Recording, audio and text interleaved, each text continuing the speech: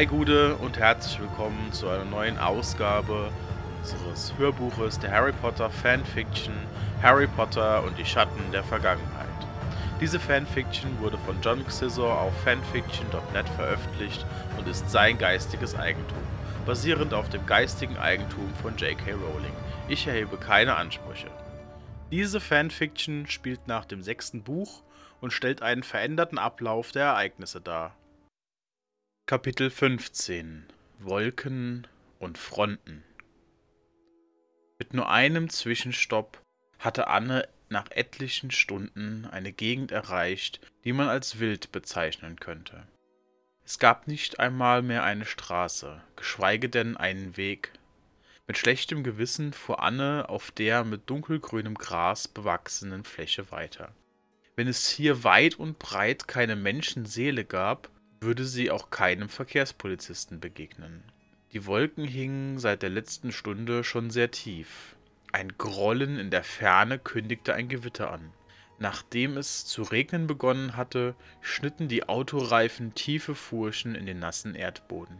Ihr Wagen setzte auf einem Stein auf. Ein Fortkommen war nicht mehr möglich. Anne verfluchte ihre Neugierde.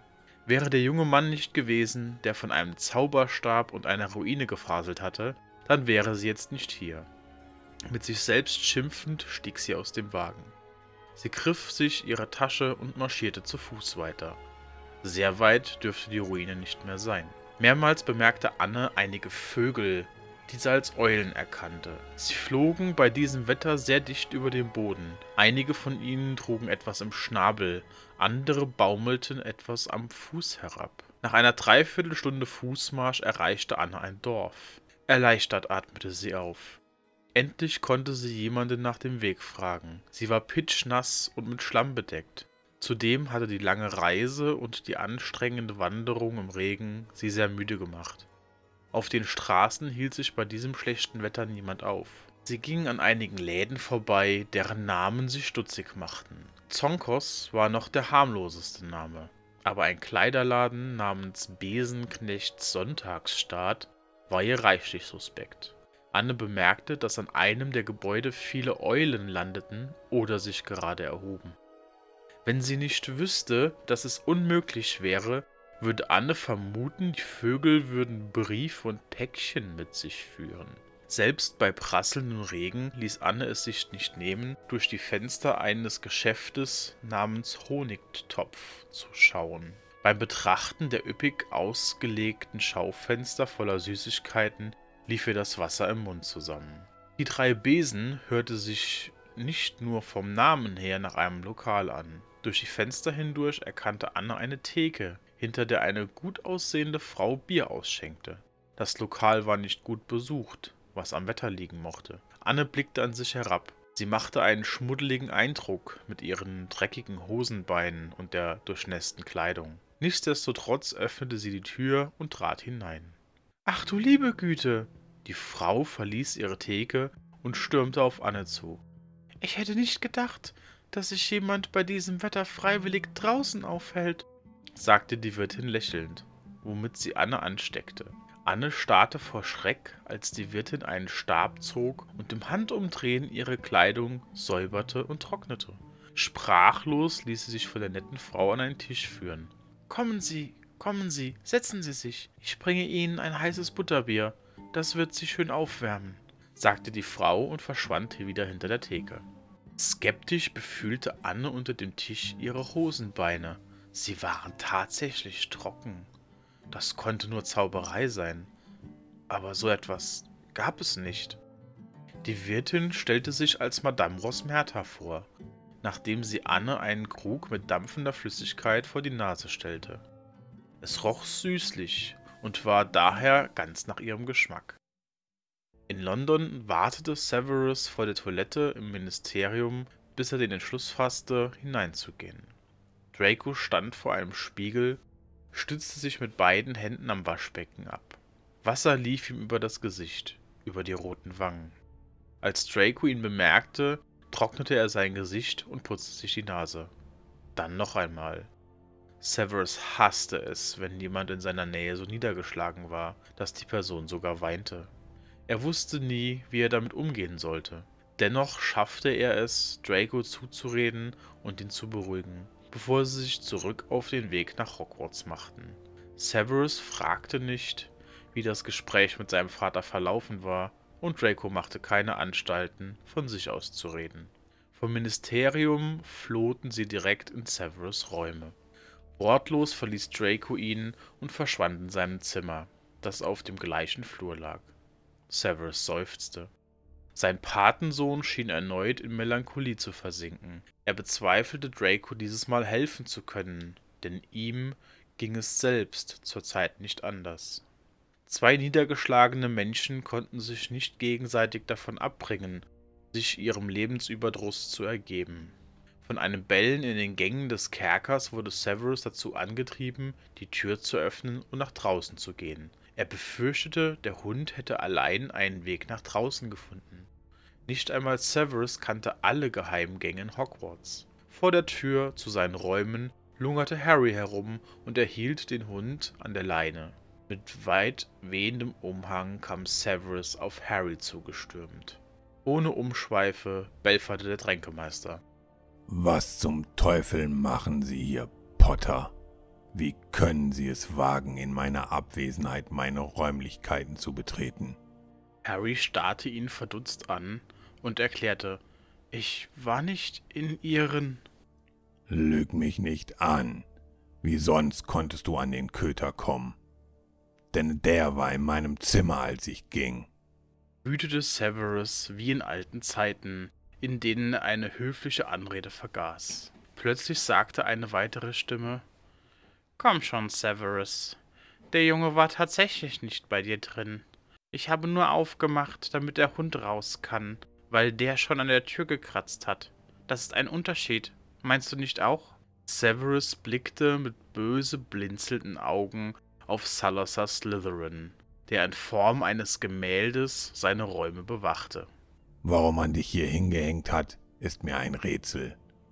Ich erwäge ernsthaft, dich gegen Sir Cadogan zu tauschen. Der kann zumindest Aufgaben erfüllen, die man ihm aufträgt. Salazar schneufte höhnisch. Ich habe die mir aufgetragenen Aufgaben erfüllt, Severus, denn ich habe niemals jemanden in deine Räume hineingelassen, andere Befehle habe ich nie erhalten. Salazar grinste überlegen, denn er wusste, dass er recht hatte. Severus hatte ihm niemals ausdrücklich verboten, die Tür in seiner Abwesenheit zu öffnen. Severus ging wieder hinein. Drinnen war er nicht besser gelaunt. Dracos Trübsinn hatte seine Niedergeschlagenheit, die er mit Aggression zu überspielen hoffte, nur noch verstärkt. Harry war ihm wortlos und unaufgefordert gefolgt, um den Hund im Wohnzimmer von der Leine zu lassen. Als Severus sich umdrehte und überraschenderweise Harry erblickte, sagte er aufgeregt Verschwinden Sie, Potter. Rebellisch protestierte Harry. Hören Sie auf damit. Lassen Sie Ihre Launen nicht an mir aus. Ich habe nichts Unrechtes getan. Ich sagte. Aber Snape kam nicht dazu, seinen Satz zu beenden. Ohne Sprechpausen entgegnete Harry energisch. Nein, jetzt hören Sie mir mal zu. Ich glaube, es ist an der Zeit, meine Gegenleistung einzufordern. Ich habe versprochen, dass es nicht sein wird, das Sie nicht erfüllen können. Jetzt sage ich Ihnen, was ich will. Sie sollen nett sein. Sie sollen aufhören, mich anzuschreien, wann immer es Ihnen passt. Und ich will nicht, dass Sie ständig mit Sirius streiten wenn sie sich über den Weg laufen. Ich will, dass sie mir mindestens den gleichen Respekt erweisen, den sie auch allen anderen Kollegen entgegenbringen. Ist das klar? Völlig verblüfft starrte Severus den jungen Mann an, der einst so ein verhasster Schüler war. Potter, der die Welt von Voldemort gesäubert hatte. Harry, der genauso viel Mut und Stärke bewiesen hatte wie er selbst. Severus hatte ihm viel zu verdanken, zum Beispiel seine Freiheit. Bei allem, was dieser junge Mann von ihm fordern konnte, war es schwer nachzuvollziehen, warum er gerade darauf so viel Wert legte. Er sollte nett sein. Severus bereute es tatsächlich, seine schlechte Laune an Harry ausgelassen zu haben. Zurückhaltend antwortete er seinem ehemaligen Dorn im Auge. Mr. Potter, hätten Sie mir auferlegt, Ihnen die Köpfe der flüchtigen Todesser bis morgen früh um sieben auf einem silbernen Tablett zu liefern, wäre ich weitaus weniger überrascht gewesen. Zudem fiele mir diese Aufgabe auch wesentlich leichter als das, was Sie von mir verlangen. Verdutzt fragte Harry, wieso sollte es leichter sein? Severus führte ihm vor Augen. Sie verlangen von mir, dass ich mein Wesen ändern soll. Nicht einmal für einen Lebenspartner sollte man so einer Bedingung Folge leisten, und schon gar nicht werde ich das tun, nur weil Sie meinen Hund dreimal täglich ausführen. Harry antwortete nicht. Er fühlte sich plötzlich ganz klein mit Hut.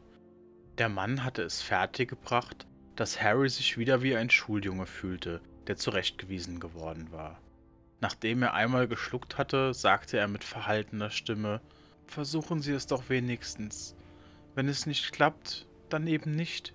Aber Sie könnten es versuchen.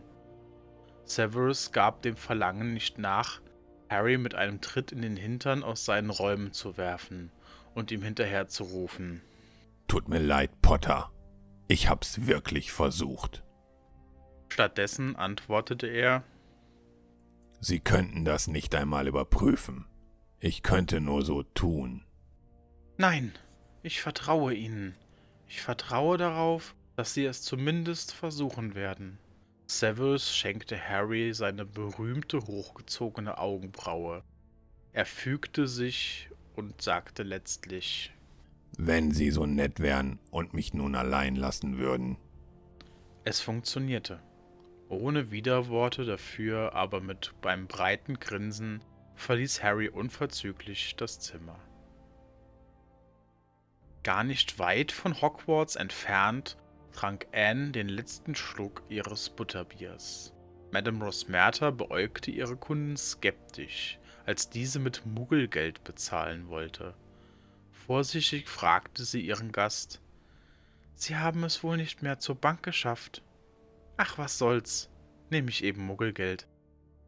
Gedanklich notierte Anne das Wort Muggel. Ohne auf Madame Rosmertas Frage einzugehen, holte sie die Schottlandkarte aus der Tasche und zeigte auf die Ruine. Wissen Sie, wie ich am besten dahin komme? Madame Rosmerta wurde stutzig, weil es sich bei der Landkarte ebenfalls um eine aus der Muggelwelt handelte. Sie blickte auf das Symbol der Ruine und fragte verdutzt: Hogwarts? Was wollen Sie gerade da? Sie sehen mir nicht wie eine Lehrerin aus. An Madame Rosmerta vorbeischauend bemerkte Anne zwei Gäste, die sich mit einem Zauber eine Schale Erdnüsse von einem der leeren Tische mopsten. Ein Schauer lief ihr über den Rücken, als ihr klar wurde, dass sie es hier tatsächlich mit etwas Übersinnlichem zu tun hatte. Doch bisher hatte ihr weder Draco noch Madame Rosmerta etwas Schlimmes angetan. Nach außen hin blieb sie ruhig. Ich möchte einem Bekannten seinen Zauberstab wiederbringen. Er hat ihn bei mir vergessen und da dachte ich, besuche ich ihn auch gleich. Anne hoffte, ihre Erklärung würde reichen. Der Regen hielt sie davon ab, sofort nach draußen zu gehen. Sie wollte so lange im Wirtshaus bleiben, bis es wenigstens ein bisschen nachgelassen hatte. Sie gönnte sich ein weiteres Butterbier. Das Gebräu schmeckte ihr, obwohl sie sich nicht sicher war, ob Alkohol enthalten war oder nicht.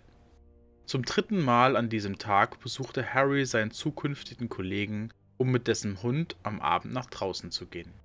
Mittlerweile hatte Snape dem Gemälde zu seinen Räumen die Erlaubnis gegeben, Harry jederzeit Einlass zu gewähren. Natürlich nur des Hundes wegen. Als Harry das Wohnzimmer betrat, wurde er stürmig von dem jungen Kuvas begrüßt. Dieses Mal ließ Harry sich nicht von dem Tier ablenken. Sein Blick ruhte auf Snape, der regungslos auf der Couch lag und eine Armbeuge über die Augen geworfen hatte. In der Annahme, Severus würde schlafen, sagte er leise zu dem Vierbeiner. Still, sonst wecken wir ihn noch. Snape hingegen schlief nicht. Er hatte nachgedacht. Über Draco, über seinen Beruf, über sein Leben. Schon früher war Severus zu dem Resultat gekommen, dass er kein eigenes Leben besaß. Schlimmer war, dass er jetzt noch immer so dachte. Er lauschte seinem Gast, bevor er sagte: Ich schlafe nicht, Potter. Nachdem er sich aufgesetzt hatte, fragte er höflich. Darf ich Ihnen eine Tasse Tee anbieten? Schweren Herzens lehnte Harry mit den Worten ab Nein, Professor, Vielleicht dann, wenn ich zurückkomme. Aber erst muss ich Harry nach draußen bringen. Sie möchten doch nicht, dass er hier einen kleinen, er druckste herum, Unfall macht? Der Hund hatte, seitdem Harry ihn regelmäßig ausführte, nicht mehr auf den Teppich gemacht. Severus nickte daraufhin und starrte auf die Teekanne, die ihm ein Hauself vor wenigen Minuten gebracht hatte. Nachdem er den Hund an die Leine genommen hatte, blickte Harry zu Snape hinüber. Ihm fiel auf, dass der Mann bedrückt wirkte. Die sonst so kontrollierte und daher emotionslose Miene war aus dem Gesicht verbannt. Zurück blieben eine in Falten gelegte Stirn, zusammengepresste Lippen und Augen, die sehr viel Kummer widerspiegelten. Mitfühlend fragte Harry, Geht es Ihnen gut, Sir? Ein sorgenlastiger Blick wurde ihm zugeworfen, bevor die Antwort folgte. Ja, danke der Nachfrage, Potter. Es war offensichtlich, dass Severus log. Nachdem Harry einmal leise geseufzt hatte, schlug er vor, Vielleicht möchten Sie einmal mitkommen? Erstaunt zog Severus eine Augenbraue in die Höhe. Er wollte verneinen, antwortete jedoch zu seinem eigenen Erstaunen Warum nicht? Snape warf sich einen Umhang über und folgte Harry zur Tür hinaus. Wo führen Sie ihn in der Regel Gassi? fragte Snape, während sie einen der nicht überdachten und durch das abklungende Gewitter mit großen Pfützen angereicherten Höfe von Hogwarts überquerten. Ab und an, langsamer gehend oder stehen bleibend, damit der Hund überall schnuppern konnte, antwortete Harry, Naja, erst einmal gehe ich runter von dem Gelände. Eine Schule voller Häufchen ist kein schöner Anblick. Und dann überlasse ich es meist Harry, wo wir hingehen. Kaum hatten sie die Brücke hinter sich gelassen, zog der Hund aufgeregt in eine Richtung. Die Männer unterhielten sich wenig. Meist war es Harry, der hin und wieder etwas sagte, auch wenn er nur eine liebenswerte Eigenart des Hundes beschrieb. Das erste Treffen von Fang und Harry hätten Sie mal erleben müssen, Professor Snape. Der Kleine war völlig aus dem Häuschen, und Fang hat sich gefreut, endlich einen Kameraden zu haben. Die beiden haben gemeinsam gespielt. Harry hat immer nach Fangs Schwanz geschnappt, aber passiert ist nichts. Fang ist wirklich ein geduldiger Hund, hat alles mit Nachsicht ertragen. Während des Spaziergangs ging die Sonne unter und flutete den Himmel mit roter Farbe. Severus blieb einen Augenblick stehen und betrachtete das Naturereignis. Dann schloss er die Augen und ein Seufzer entwich ihm. Einen Augenblick später fühlte Severus eine Hand auf seiner Schulter. Sie packte kurz zu, um Halt und Stärkung zu sichern. Die Wärme der Hand bahnte sich ihren Weg durch seine Kleidung und drang hindurch bis zur Haut. Das Gefühl war angenehm, denn es vermittelte Zuspruch, Trost und, als Severus sich ins Gedächtnis zurückrief, wer ihn da an der Schulter packte, öffnete er entsetzt die Augen und drehte sich blitzschnell zu Harry um. Harry erschreckte und machte einen Satz nach hinten. Er stolperte über die Leine und landete mit dem Gesäß auf dem Boden. Keiner von beiden kommentierte den Vorfall. Sie unterhielten sich über das Wetter. Innerlich schüttelte Harry ständig den Kopf. Er fand nichts dabei, einem Kollegen auf die Schulter zu klopfen. Trotzdem hatte er bei diesem Mann Bedenken. Snape war nie jemand gewesen, der mit körperlichem Kontakt großzügig umging. Ein kräftiger Händedruck war das Einzige, was man von dem griesgrämigen Mann erhoffen konnte. Nur Dumbledore hatte er es gestattet, ihm eine Hand auf die Schulter zu legen. Weil Snape ihm zum Glück nicht die Leviten las, tat Harry den Vorfall als vergessen ab. Mittlerweile konnte er mit dem mürrischen Mann besser umgehen. Sarkastische Spitzen überhörte er einfach, wenn ihm keine passende Antwort dazu einfiel. Es lag Harry am Herzen, dass Snape sich wohlfühlte. Jeder andere fühlte sich doch auch wohl, jetzt nachdem Voldemort nicht mehr war. Aber sein zukünftiger Kollege war anders. Der war nicht nur sarkastisch und zynisch wie immer, sondern jetzt auch noch niedergeschlagen was Harry keineswegs entgangen war. Er selbst war oft genug depressiv gewesen und glaubte daher, diese Stimmung bei anderen erkennen zu können. Wenn Harry sich schlecht fühlte, half es ihm am meisten, wenn er mit Ron oder Hermine sprach. Reden half immer, aber Harry wusste, dass Snape kein Mann der vielen Worte war. Als er ihn vorhin so traurig vorgefunden hatte, machte es ihn ebenfalls traurig. Zumindest war es aber schon ein Anfang, dass sie beide miteinander reden konnten, ohne sich durchweg zu beschimpfen. Vielleicht kamen sie jetzt besser miteinander aus, weil Harry nicht mehr ständig befürchten musste, Hauspunkte zu verlieren. Während ihres Spaziergangs plapperte Harry drauf los. Er zeigte zum Himmel und zitierte deutlich Hermine Granger, als er erklärte, die Wolke da hinten, das ist eine Cumuluswolke. Trifft sie auf eine Front, würde ein weiteres Gewitter ausbrechen. Wie vorhin. Ohne Front wird sie sich aber einfach auflösen. Severus blickte zu der Wolke, die wie ein riesiger, dunkler Pfifferling gen Himmel ragte. Für einen Moment zog er einen abstrusen Vergleich. Würde er sich auch auflösen, wenn es keine Fronten mehr gäbe, die ihn daran hindern würden? Soweit zum heutigen Teil unserer Harry Potter Fanfiction Harry Potter und die Schatten der Vergangenheit. Vielen Dank fürs Zuhören. Wenn es euch gefallen hat, lasst uns einen Daumen nach oben da. Wenn ihr möchtet, gerne auch einen Kommentar, denn die Feedback Challenge ist immer noch on. Und natürlich freuen wir uns auch über ein Abo. Ciao, bis zum nächsten Mal.